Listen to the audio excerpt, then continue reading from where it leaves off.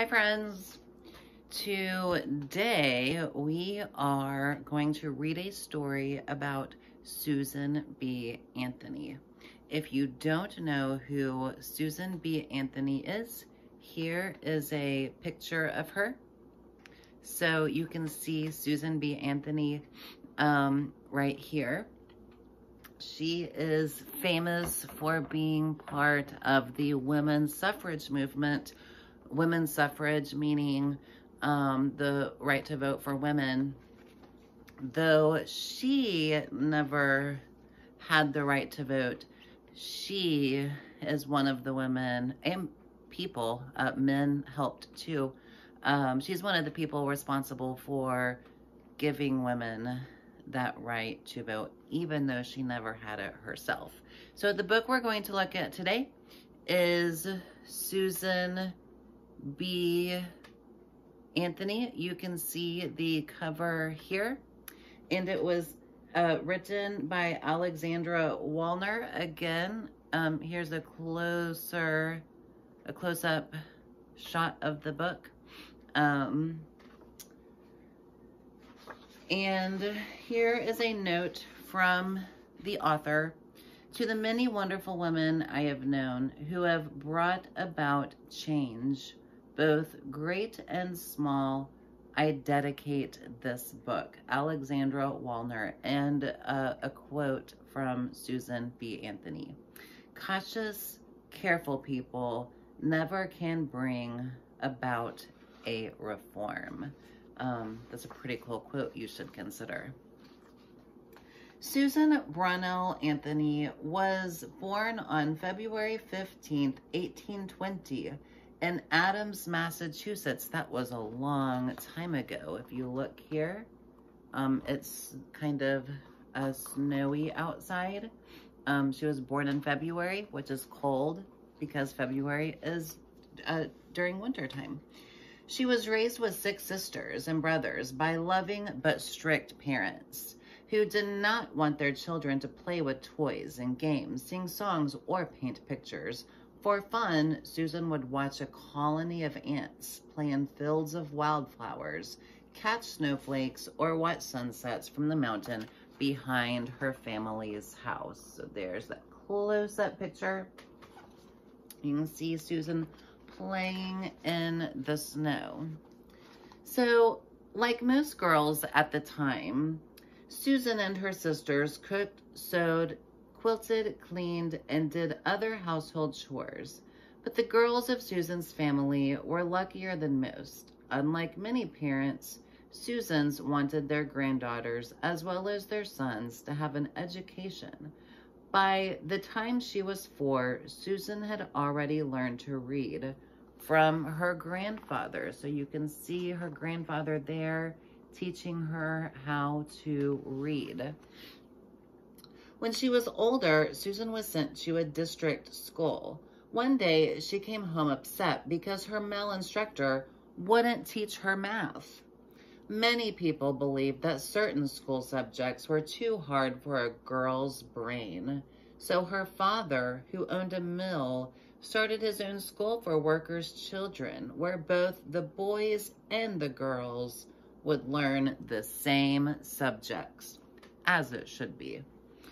Susan's father hired a young teacher named Mary Perkins, who had graduated from a good girls' school. A good girls' school. Soon admired Mary because she was, Susan admired Mary because she was educated and earning her own living. So back in the time, um, you know, it was kind of relatively unknown for a woman to be making her own living. So Susan admired that. But um, Susan's father was fair. But Susan found that even he was not fair all the time. At her father's mill, Susan took over the job of a girl worker who was sick for two weeks she earned $3, although the men were getting more money for doing the same job. She suggested to her father that he promote a girl who worked with her because she knew more about the job than her male boss. But her father said that it would never do to have a woman oversee the mill. You can see Susan talking to her dad. So her dad was a fair man uh, for that time period. Um, you know, he hired women and had a school for girls, but even he didn't understand why a woman should have such a promotion. After Susan learned all she could at the factory school, she asked her father to send her to a girls' school, which he did. Now she was getting a better education, but sadly, she had to leave school after just a year because of a family money problem. So again, when her when she asked, her dad did send her to the school as long as he could. when she was 18. You can see her there. She's starting to grow up. I'm going to show you guys this picture and then I'm going to zoom out so I can read and then I'll get the pictures back up. So when she was 18, Susan had to decide what to do next. At the time, there were only two days for a young woman, or two ways for a young woman to live. Either she got married or she got a job teaching. Susan chose to be independent and rely on herself. She got a job at a school for girls. She was worried, though, that she didn't know enough about different subjects to be a good teacher. But she soon discovered that she was still ahead of her students. Like most girls' educations, her students had been very poor. After a few years, even though her students liked her, she got tired of teaching because it was not a challenge anymore. But what other work could she do? So again, you can see her teaching her students there. Um, a job that a lot of women did back in the day. And I'm going to show you this picture of her writing. And watch this picture and think in your mind what might be happening here as I read the next page. So, she believed that there were many things wrong with laws at the time. Women were not treated as the equals of men. They could not get a good education, own property, get equal pay, or vote, which is called women's suffrage. There was slavery and lack of education for African Americans. She thought drinking a lot of alcohol was wrong, which is called temperance. Susan decided to become a voice for change. These issues would be her new challenges. Instead of teaching just a few, she would speak to many. Maybe the people who listened to her would urge lawmakers to change unfair laws. When Susan was 28, she left her safe teaching job to start an uncertain career battling for reform. It would make her unpopular because people were not used to women speaking in public. So you can see her there contemplating what she was going to do next. She used money she had saved from teaching to travel to many towns. I'm going to lift this picture up here. You can see her speaking as I read the next page. Um, Often in winter, when people were so bored, they would come to any meeting and even pay money just for something to do. She did all the work herself, finding her own hotel and lecture hall and arriving early to light the room. Sometimes people came to her speeches and made fun of her. They shouted while she was talking threw rotten eggs at her even threatened her with knives and pistols. In spite of these hardships, and although she was alone, she continued working for her causes. Uh, girls and boys, aren't we lucky that someone like Susan B. Anthony came before us to basically win these battles for us? There you see her with a friend. Then Susan met Elizabeth Stanton. who had organized the first convention to champion women's rights.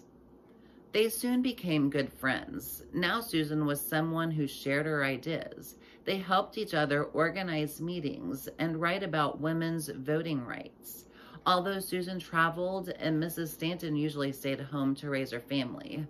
Susan said, we did better work together than either could alone.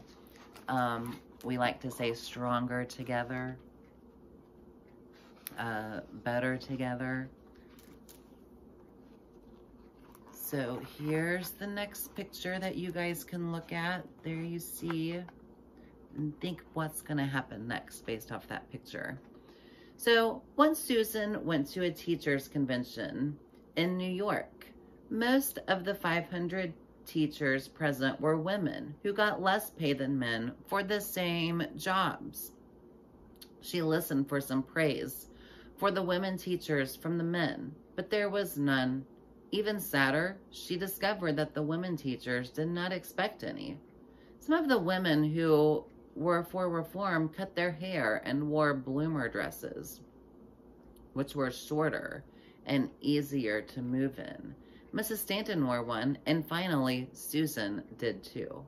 One day, when Susan came out of a post office in New York City wearing a bloomer dress, some men and boys laughed at her. They shouted and made faces.